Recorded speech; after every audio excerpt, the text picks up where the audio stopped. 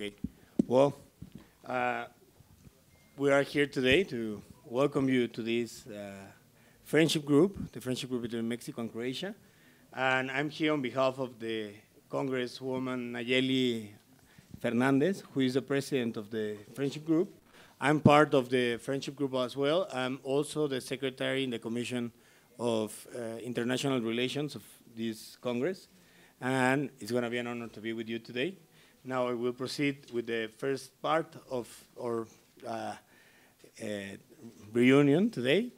And okay, I'm going to read something. I, we, it is, it's in Spanish, but I'm, I will try to do it in English as well. And if I can't, I will let the consul okay. translate it. All right? Thank you. Okay. So good morning to everyone, uh, all the different congressmen who is with us today.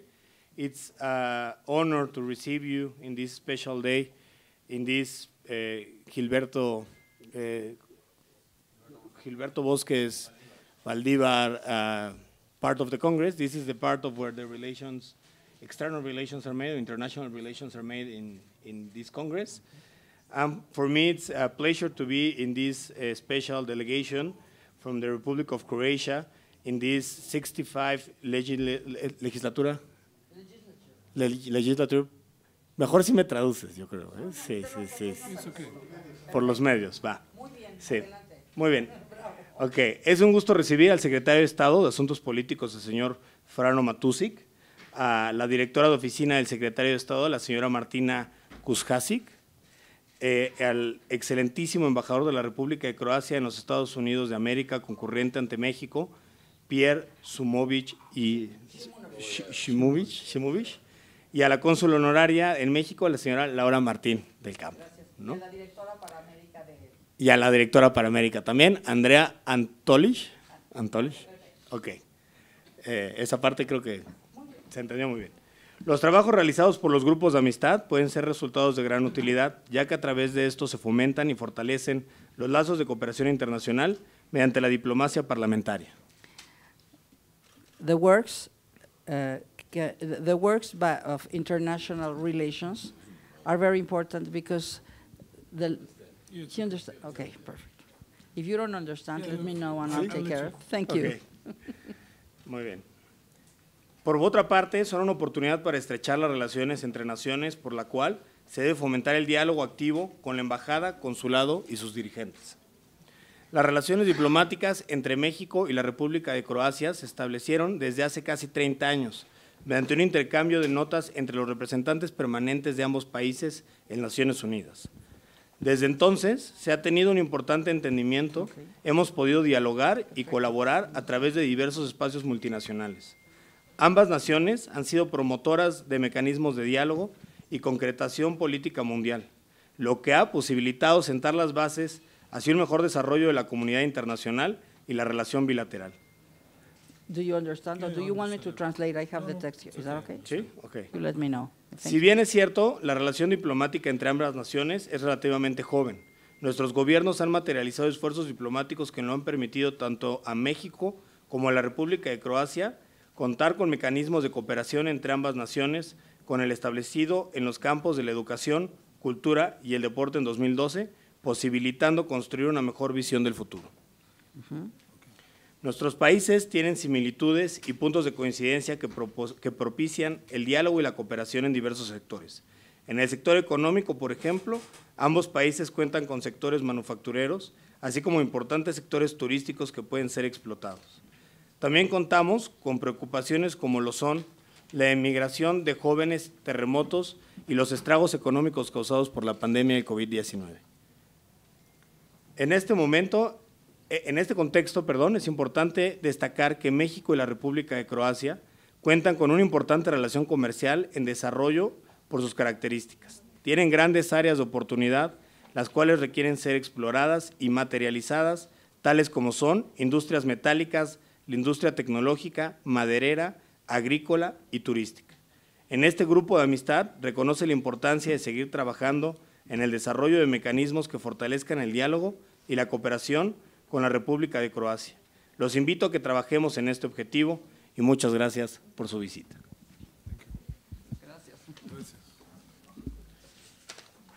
Ok, como siguiente punto, Tendremos el mensaje del señor Frano Matusic, secretario de Estado para Asuntos Políticos de la República de Croacia. If you want, if, if he don't, don't understand. Do you have it in English? Thank you. Okay. I'm okay with Okay. Thank you very much, Okay. Mr. Secretary of Fantastic. Foreign Relations. It is a pleasure to be here in the Congress uh, in friendly country.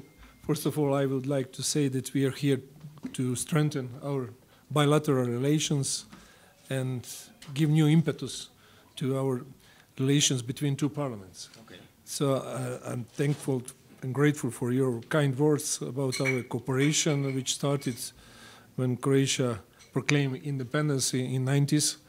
But we think that today, as European Union members, we can really improve our cooperation in many fields. We also strive to become member of OECD. You're a member of OECD uh, from 1994.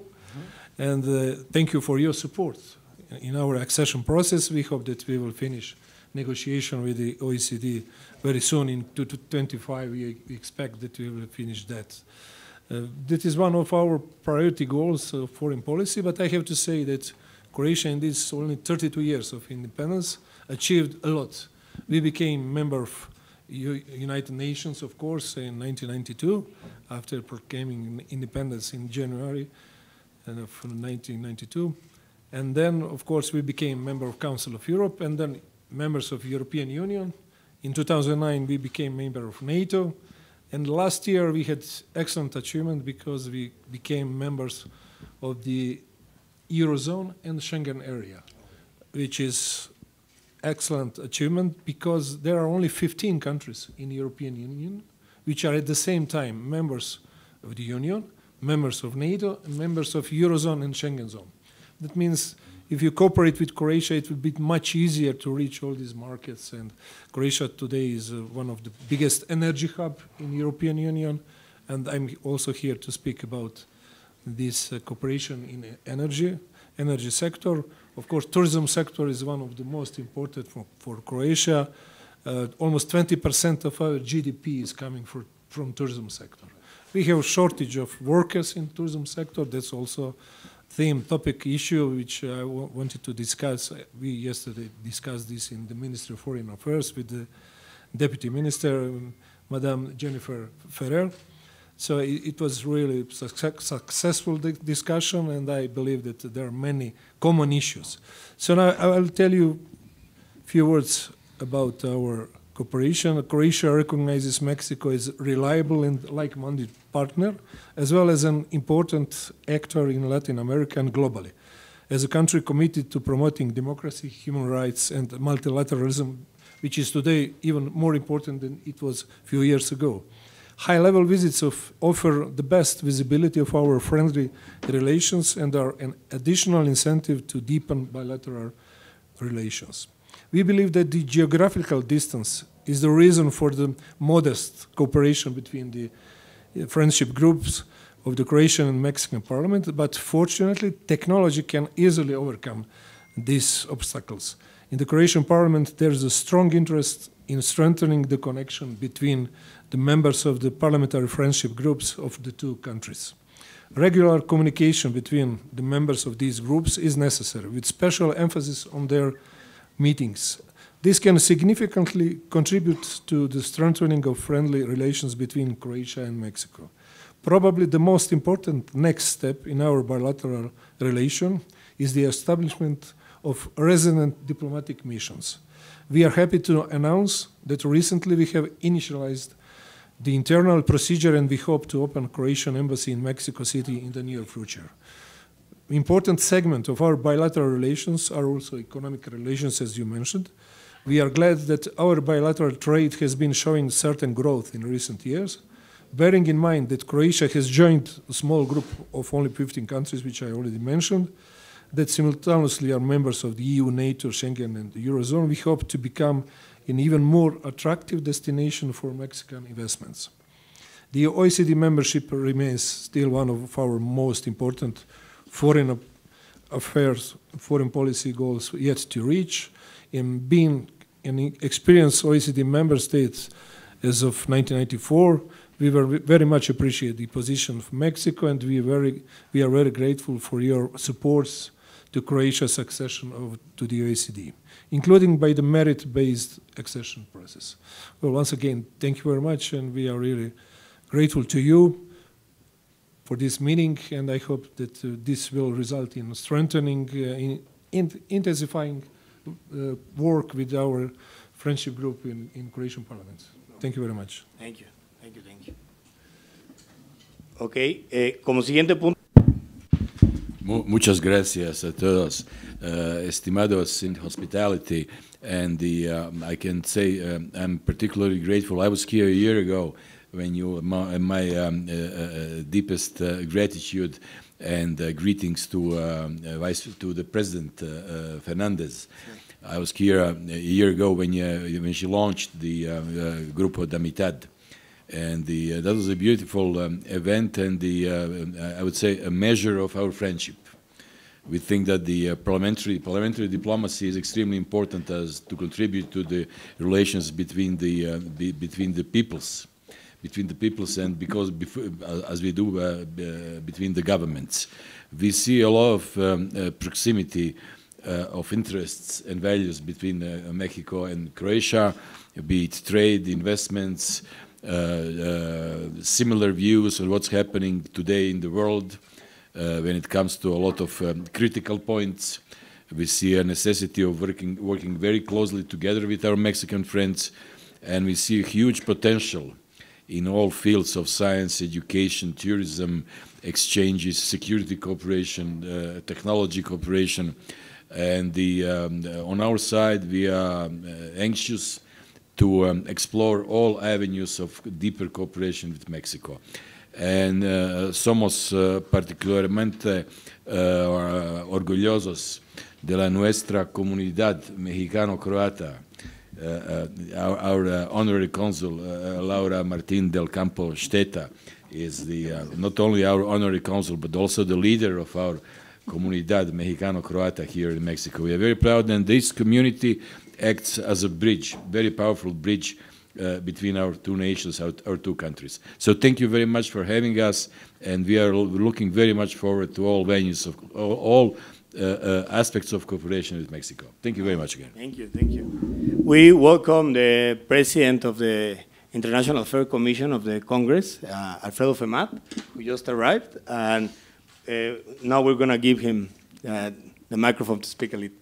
Adelante, mi querido presidente. Pues antes que nada, quisiera darles la bienvenida a nombre de la Comisión de Relaciones Exteriores, a nombre del Congreso Mexicano, decirles que deben de sentirse como en casa, están entre amigos y los amigos son como una familia. Y los mexicanos somos muy, pero muy amigos de Croacia. Y por eso le doy la bienvenida al señor Frano Matusi, secretario de Estado para Asuntos Políticos de la República de Croacia. Eh, un gusto que el excelentísimo Peyer Simonov, embajador de la República de Croacia, nos acompañe. Y la verdad es un gusto enorme. Y para nosotros, eh, pues agradecerle mucho al diputado José Antonio Estefan, que es el presidente del Grupo de Amistad, porque eh, la Junta de Coordinación Política desde el inicio de esta, eh, de esta legislatura nos dio la encomienda de formar hasta 100 grupos de amistad. Y para nosotros los grupos de amistad son fundamentales porque son el germen que permite que se profundice la diplomacia parlamentaria y que a través de los grupos de amistad entre parlamentarios se puedan armar planes de trabajo para poder profundizar la cooperación eh, y que esa cooperación, ese intercambio, nos lleve a, a profundizar desde el poder legislativo de cada país las relaciones entre los países. Y por eso para nosotros la diplomacia parlamentaria es un vehículo, un camino y quisiéramos que todos los grupos de amistad lograran que a través de estos convenios de colaboración se pudieran armar planes de trabajo para que luego tuviéramos reuniones interparlamentarias permanentes, anuales. Lo hemos hecho ya con otros países, con varios países comenzamos como grupo de amistad y después los grupos de amistad generaron tanta empatía, tanta coordinación, que ahora con varios países, año con año, tenemos reuniones interparlamentarias bajo el método un año en México y un año en el país amigo. Y eso nos ha llevado a profundizar pues, el intercambio de jóvenes estudiantes que pueden ir a Croacia o pueden venir de Croacia a México. Eso ha permitido que delegaciones de empresarios vayan a Croacia y vean oportunidades de invertir o bien vengan inversionistas de Croacia a México. Y eso nos permite, repito, que desde el Poder Legislativo se profundice esa relación de cooperación. Y por eso hoy, como presidente de la Comisión de Relaciones Exteriores, realmente le quiero dar la bienvenida a toda la delegación y decirles que estamos totalmente abiertos, abiertos para que eh, profundicemos la relación con ustedes. Para nosotros es muy importante eh, ver cómo trabajamos con Croacia y cómo Croacia puede trabajar con nosotros. Y bueno, un gusto enorme y bienvenidos a México. Muchas gracias.